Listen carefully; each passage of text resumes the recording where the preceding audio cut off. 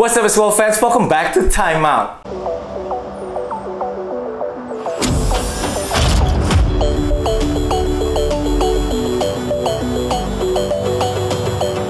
Balik bareng gue Padilla, kita kembali ke info basket harian untuk edisi 18 Juli 2020. Pertama-tama gue mau kasih lihat kalian semua sebuah video yang gue temukan di TikTok kemarin ini. Ini tentang transformasinya Russell Westbrook saat dia masih kecil, badannya kecil banget. Sampai sekarang dia sudah menjadi seorang superstar di NBA. Menurut gue video ini sangat menginspirasi banget dan bagus banget kontennya. Serta gue main pas nonton tuh gue sampai merinding. So without further ado, let's check out the clip.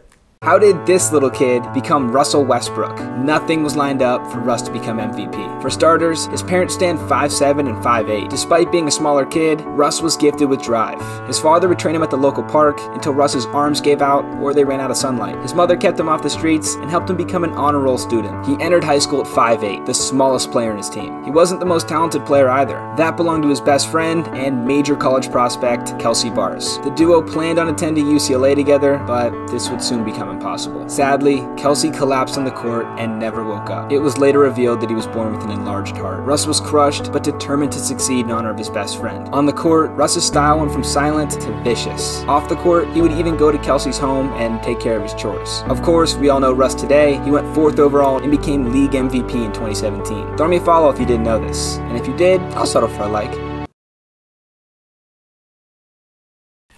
Itulah klip tentang Russell Westbrook. Hopefully you guys like it. Gue pengen denger komentar kalian. Menurut kalian gimana video tersebut? Tulis di comment section di bawah ya guys. Oke okay, next ada sebuah bold prediction dari uh, Bleacher Report. Di mana dia bilang katanya ada satu tim yang akan go winless saat NBA restart nanti. Dan ini fotonya Devin Booker nih. Berarti prediksinya mungkin aja Phoenix Suns gonna go winless. Tapi menurut gue setelah melihat bagaimana tadi Devin Booker workout di videonya NBA ini kayak Devin Booker udah benar serius banget mempersiapkan diri dan bisa aja dia dominate juga nanti di NBA restart untuk Phoenix Suns. Menurut gue Phoenix Suns kayak akan menang satu atau dua game nanti saat NBA restart dari 8 pertandingan yang akan mereka mainkan. Nah, satu tim yang menurut gue bisa aja go winless adalah Washington Wizards. Kita nggak boleh lupa mereka udah nggak ada Bradley Bill, John Wall, nggak ada Davis Bertans.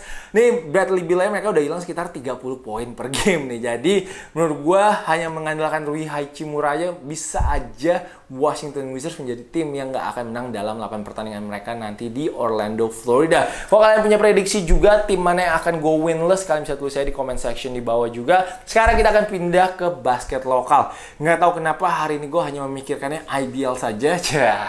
Jadi uh, kita tahu sekarang udah buat tanggal 19 Juli dan IBL itu kan rencananya mau mulai lagi tanggal 4 September. Ini udah sekitar tinggal satu setengah bulan lagi dan baru ada dua tim aja nih yang bisa latihan yaitu Prawira dan juga Hang Tua. Kedua tim ini juga protokolnya cukup ketat. Mereka kayak sering juga melakukan tes uh, kepada pemainnya dan juga staffnya untuk memastikan semuanya negatif. Nah, jadi uh, kenapa gue ngomong gini? Gue karena penasaran nih, apakah kira-kira IBL akan diundur atau tidak nih tanggalnya? Karena uh, gue tahu mereka sudah kerjasama dengan uh, gugus tugas juga dan sudah memberikan protokol atau pedoman uh, tentang protokol kesehatan yang mereka akan jalankan saat latihan dan juga pertandingan. Tapi sampai sekarang uh, gue lagi ngobrol juga dengan beberapa pemain IBL mereka bilang pun timnya belum ada rencana untuk latihan. Sedangkan menurut gue untuk sebuah tim mempersiapkan diri nanti untuk IBL mereka at least butuh dua bulan. Karena kita tahu pemain ini udah empat bulan nggak latihan secara tim nggak latihan di lapangan mereka hanya latihannya online.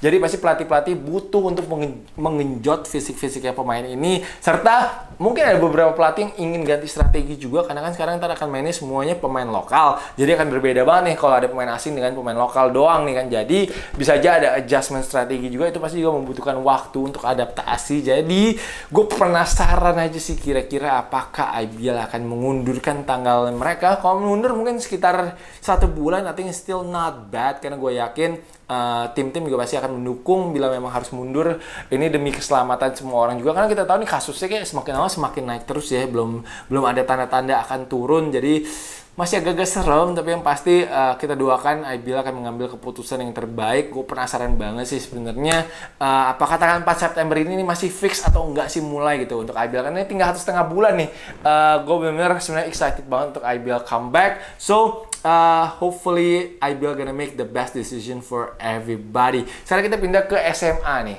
SMA Bukit Sion. Kita tahu Bukit Sion ini juara DBL dua tahun berturut-turut ya, kok nggak salah ya.